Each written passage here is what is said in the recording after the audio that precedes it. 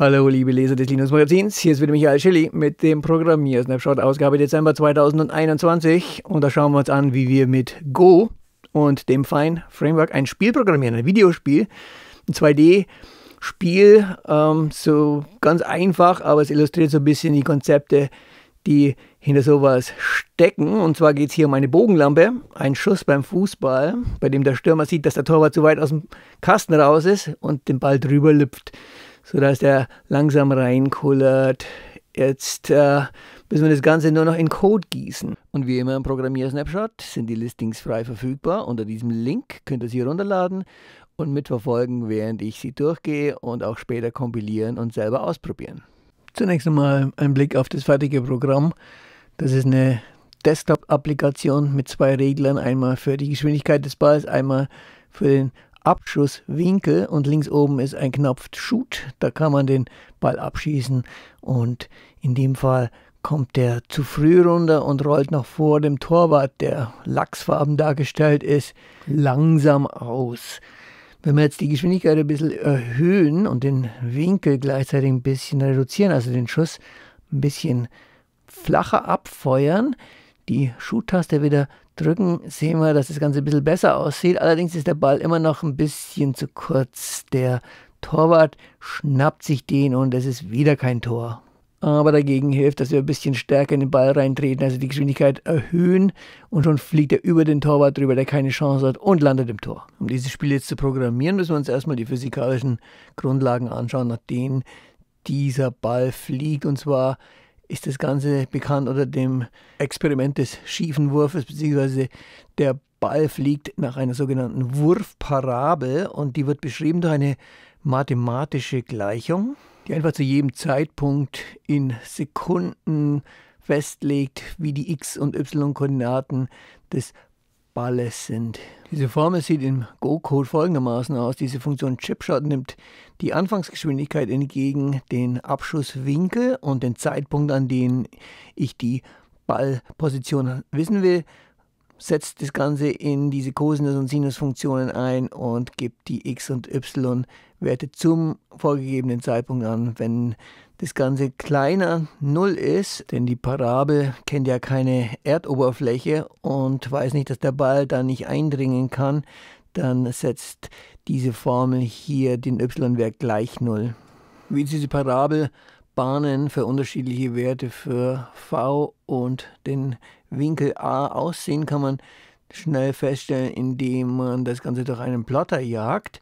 Und da habe ich jetzt mal ein paar verschiedene Werte aufgelistet. Einmal für die Geschwindigkeit von 10, Winkel 45, Geschwindigkeit von 15, Winkel 45 und einmal Geschwindigkeit 10, Winkel 60 und einmal Win Geschwindigkeit 10, Winkel 30. Wenn wir das Ganze jetzt kompilieren und diese PNG-Datei erzeugen lassen, kann man anhand des Ergebnisses sehen, wie die Geschwindigkeit und der Winkel die ballistische Bahn hier bestimmen. Die rote Kurve zeigt die ballistische Bahn bei einer Anfangsgeschwindigkeit von 10 und einem Winkel von 45. Die ist relativ niedrig im Vergleich zur zweiten, wo die Anfangsgeschwindigkeit 15 beträgt, auch bei einem Winkel von 45. Da geht der Ball viel höher rauf. Bei einem Winkel von 60 Grad geht, wie man an der blauen Kurve sehen kann, der Ball relativ steil nach oben, fällt dann auch relativ bald wieder runter. Und bei einem Winkel von 30 Grad zeigt diese gelbe Kurve am Schluss, dass der Ball eben nicht sehr hoch hinaufgeht und sehr bald wieder herunterfällt. Was nun die Animation betrifft, wo dieser Ball in einer scheinbar fließenden Bewegung über den Bildschirm fliegt, das beruht auf einer Illusion und in dem Buch Classic Game Design von Franz Lanzinger wird es schön erklärt, wie das funktioniert, dass nämlich der Game Engine Frames berechnet bis zu 50 in der Sekunde, damit es fließend aussieht und immer nachschaut, was jetzt gerade passiert, ob die Objekte sich bewegen, ob sie mit anderen kollidieren und so weiter. Das Buch selber ist nicht für Linux geeignet, nur für Windows und den Mac, aber vom Prinzip her kann man sich das mal anschauen. Da hat er eine Startfunktion oder eine Update-Funktion und in Update rechnet er immer aus, was im gegenwärtigen Frame passiert. Schauen wir uns mal die Implementierung des Spiels in Go an. Da ziehe ich diese Fine.io Library rein. Das ist so ein Framework für grafische Oberflächen, was wir schon in den letzten paar Snapshots verwendet haben. Und hier sind die einzelnen Elemente des Spiels. Der Ball, das Tor, der Text, der über dem Tor schwebt, der Torwart, also der Goalie, der Text, der über dem Torwart schwebt, also Goalie-Text, sowie das äh, Canvas-Objekt, was die Spielfläche ausmacht. Hier definiere ich noch ein paar Maße, wie dass das Spielfeld 1200 x 800 groß ist, dass das Tor 30 Pixel breit ist und 60 Pixel hoch und auch die, der Mindestabstand zwischen den einzelnen Elementen, damit nicht der Torwart im Tor drin steht und es völlig unmöglich ist, den Ball reinzukriegen. Die Main-Funktion muss dann eine neue Applikation anlegen mit diesem Fine Framework und damit nicht jedes Spiel gleich ausschaut, nach einem Neustart des Programms initialisiert es hier den Zufallsgenerator auf die Unix-Zeit in Nanosekunden, sodass jedes Mal ein bisschen eine andere Situation entsteht nach einem Neustart. Mit der Funktion New Window aus dem Fine-Paket definiert die Applikation dann ein neues Applikationsfenster und setzt es auf die eingestellte Größe der Torwart wird hier Lachsfarben dargestellt, also Light Salmon heißt die Farbe, und das Tor wird in grün auf die Spieloberfläche gemalt. Die Funktion Items XPOS berechnet den Abstand von Torwart und Tor vom X0-Punkt. Also da kommt jedes Mal eine andere Konstellation raus und wenn ein Tor gefallen ist, wird das Ganze wieder verschoben, damit der Spieler neue Situationen ausprobieren kann. Entsprechendes gilt auch für das Tor, was hier in Light Green gemalt wird. Und wenn wir uns das Ballobjekt anschauen, das ist einfach ein runder Kreis in der Farbe Rot mit einem bestimmten Radius, was hier mit Move platziert wird und mit Resize dann auf die entsprechende Größe eingestellt wird. Der Text, der über dem Tor schwebt, beziehungsweise über dem Torwart, ist eigentlich immer da, aber wird immer nur aktiviert und blinkt ein paar Mal, wenn jeweils ein Tor fällt, beziehungsweise wenn der Torwart einen Ball gefangen hat. Die Funktion New Without Layout des Containerobjekts packt das Ganze dann auf die Spieloberfläche. Alle Elemente werden dann eingezeichnet und dieses Binding-Objekt stellt die Verbindung her zwischen den Slidern, also diesen Elementen, wo man die Geschwindigkeit und den Winkel verändern kann, und der Anzeige des Wertes. Hier ist noch ein Widget mit der Anzahl der gefallenen Tore, die immer weiter hochgezählt wird, solange bis der Spieler mal daneben schießt, beziehungsweise der Torwart den Ball fängt. Und wenn der Spieler den Button Shoot drückt, dann läuft diese Funktion hier ab. Die besteht hauptsächlich aus dem Ausruf von dieser Funktion Animate, die wir gleich noch besprechen werden, weil sie in einem anderen Listing ist.